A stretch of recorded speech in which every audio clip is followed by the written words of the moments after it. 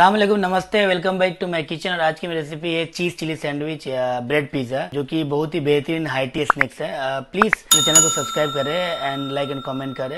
Thank you cheese chilli sandwich के लिए हमने सारे इंग्रेडिएंट्स लिए। इसमें हमारे पास कुछ chop tomato chop green bell peppers और चॉप ओनियन और चॉप धनिया है। इसके अलावा हमारे पास ये पिज्जा चीज़ है मोजरेला चीज़ और हमने ये चिली टोमेटो सॉस रखा है। इसके अलावा हमारे पास ये इटालियन हर्ब्स है और ये हमारे पास व्हाइट पेपर पाउडर है, और ये हमने लिए है चार ब्रेड के स्लाइस सबसे पहले हम इन सारे सब्जियों को एक साथ मिक्स करेंगे। के लिए हम डालेंगे करीब इसमें एक पिंच सॉल्ट सॉल्ट कम डालें क्योंकि आपका चीज़ में ऑलरेडी सॉल्ट होता है। इसमें हम डालेंगे व्हाइट पेपर पाउडर करीब एक पिंच और हम इसमें डालेंगे अपना इटालियन हर्ब ये भी डालेंगे करीब हाफ़ टी स्पून और इसे हम मिक्स कर लेंगे।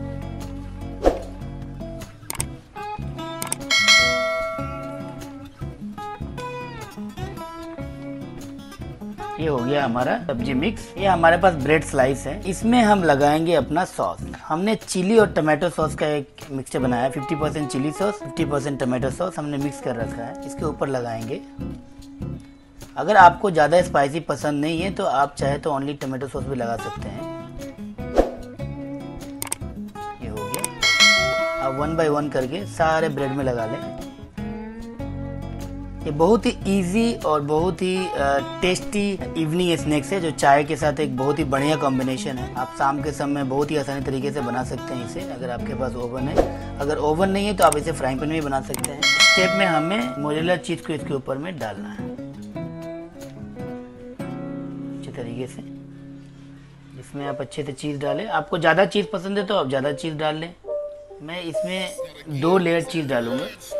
पहले एक नीचे और एक ऊपर। आप चाहे तो अमूल चीज़ या किसी और चीज़ भी सेडार चीज़ भी इस्तेमाल कर सकते हैं, लेकिन बेहतरीन मोजला चीज़ ही होगा। अब हम इसमें डालेंगे अपना सब्ज़ी। सब्ज़ी आपको जितना चाहिए, उस हिसाब से अपनी वेजिटेबल को डाल लें। इसी तरह हम सारे ब्रेड पे वेजिटेबल को स्प्रेड कर देंगे।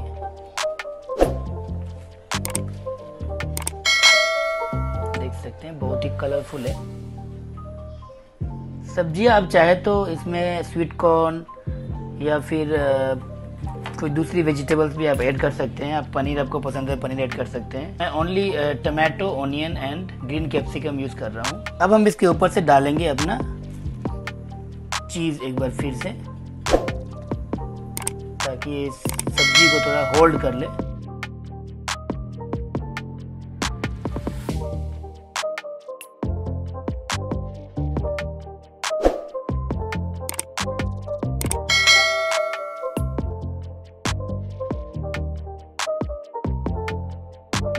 ओवन को हमने प्री हीट किया है 225 डिग्री पे। फिलामेंट ऊपर का ऑन है और जस्ट इसे हम बेक करेंगे पाँच मिनट के लिए। ये हमने एलुमिनियम फोil लगा रखा है। इस पर हमने ऑयल लगा रखा है ताकि आपका ब्रेड जो है स्टिक ना हो। तो हम इसमें अरेंज कर लेंगे अपने। अच्छे से अरेंज कर लेंगे वन बाय वन करके।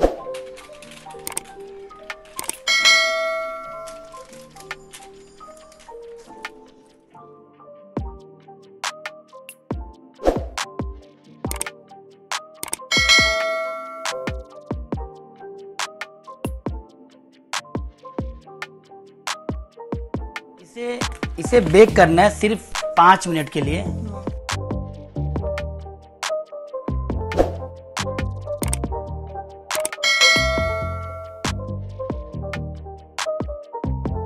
टू हंड्रेड फिफ्टी डिग्री पे। पाँच मिनट हो चुका है, अब हम इसे निकालेंगे बाहर।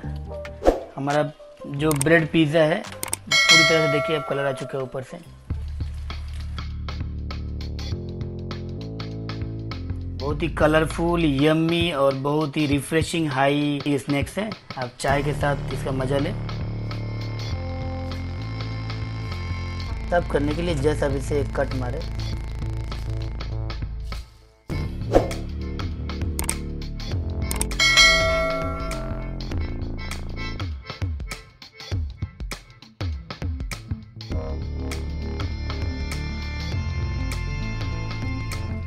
इसके ऊपर हम डालेंगे थोड़ा सा इटालियन मिक्स हफ अगेन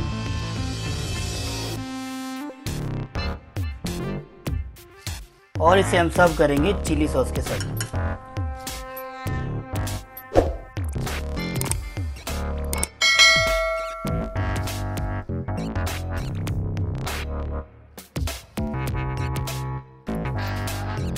हमारा ब्रेड पिज़्ज़ा या चीज़ चिली सैंडविच सर्व करने के लिए रेडी है। प्लीज़ मेरे चैनल को सब्सक्राइब करें and like comment and share करें। Thanks for watching chef thank you